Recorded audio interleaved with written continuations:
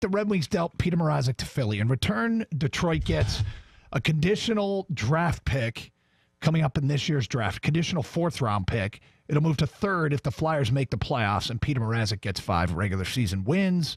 It'll move to second if they win two rounds of the playoffs and Petr Mrazek gets six wins. And Play- they'll get in the playoffs. in the playoffs, and they'll get a third round pick next year if Petr Mrazek re-signs with Philly.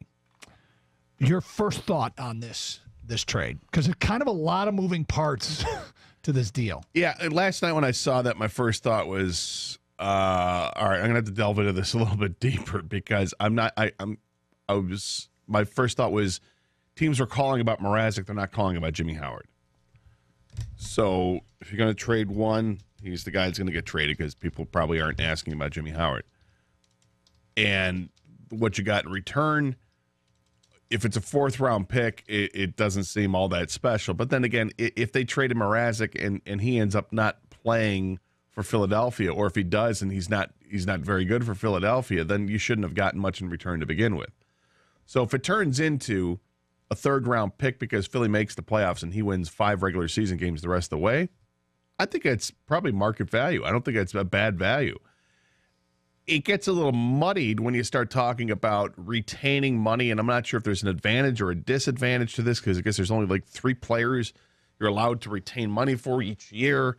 Um, and I, I guess the advantage is it helps you facilitate a trade, I guess is the thought that, that goes in there. And that Philadelphia wouldn't do the trade, I guess, unless the Red Wings are going to pick up half the tab uh, for the rest of the way, which is he's a free agent at the end of the year. He was making $4 million this year. So we're talking less than two million dollars. It's not a high crime that the Red Wings are going to be paying this. It's it's money they we're already going to be paying. So whatever. All right. Um, I don't mind the trade. I, I it's it's got more than my 51 to go ahead and trade it. I don't think it's a, it's a slam dunk win because again you're getting draft picks in return, and the Red Wings haven't exactly lit the world on fire with their draft boards over the last 15 years. So it Well, is- look, it is what it is. It- it- here's the deal. What kind of commodity really was Petr Mrazek? Okay, let's start with that. He was left unexposed in the expansion draft. Vegas didn't want him. Why didn't Vegas want him? Well, a lot of what Vegas was trying to do at the expansion draft, which is kind of funny now because they could win the President's Trophy. the best team in hockey, right? But but what they were trying to do was draft players that would later have trade value because they were hoarding assets to build a young team. What they discovered with Petr Mrazek was, quite frankly, there wasn't much of a market for him. That's one of the reasons why they passed on him. Was they didn't think they'd be able to trade Petr Mrazek for any anything of value. That was their opinion. It was one organization's opinion. So now the Red Wings have something that one other organization has already deemed as essentially valueless on the trade market. So, with that as a backdrop, the Red Wings have two goalies. They're in a rebuild. It's obvious you're going to trade one. I would have rather they traded Howard, but you can't force other teams to take the guy that you don't want.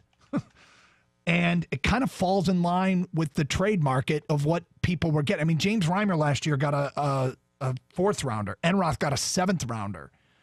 And what's weird is Philly's got two goalies signed for next year, and Brian Elliott and Michael Neuvirth. But Neuvirth just got hurt. Elliott's been hurt. He's Mrazek's gonna play. We need to hope he plays well so that fourth rounder becomes a third rounder, which seems to be what the Red Wings got back for everything was a third rounder. So the idea, though, both those goalies are under contract next year. Mrazek's likely not going to re-sign unless he catches fire and is great Petr Mrazek over the end of this season. And if he is, then that third rounder can become a second rounder. I think what they got back for Petr Mrazek is okay. It's not terrible. I don't hate that. The question I do have is what's the rush? When's the trade deadline? Uh, it's Monday. Okay. Know, Something can happen in a week. Like I get that Philly wanted to move on it, but Philly needed to make a move, though. but but is it really worth what right now is only a fourth rounder to not wait out the week and hope that you can get more? Like I I I, I here's what it's if some other goalie gets hurt, then I'm going to be like, why the hell they do that? Now I don't hate the trade. What I hate is the situation they're in. It's a situation of their own doing, of of not either foreseeing the problems were coming and moving assets earlier, which is easy to do in hindsight. I mean, it really is. And I, I want to be fair to, to Kenny Holland, but the situation the Red Wings are in right now is so bad that, you know, you take a trade like this and you go, eh. When at one point, I'm sure they could have got more for one of these goalies. Well, but the thing is with with this trade is, and I understand what you're saying. Why not wait to the last minute and see see if somebody gets hurt? But in the meantime, Philadelphia was going to make a move with somebody. Yep.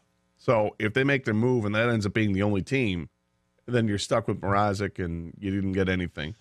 Um, I mean, a fourth rounder, quite frankly, is just north of, of nothing. I well, mean, it's not. Again, it's it's conditional, which could be a third rounder. I don't look. I don't think Philadelphia is going to get to the conference final, but if they do, it be moves all the way up to a second round. Again, at least if, it'll give us something to root for well, in the playoffs. Right. I mean, there are there are conditions of that getting to that point. Mrazek would have to actually win, be a, be a starting goaltender basically for Philly and, and given, win the games. But given they the situation with. Elliott and and Neuvirth, eh, he he may he may have to win something. Like I think the idea of him winning five games the rest of the regular season is pretty good.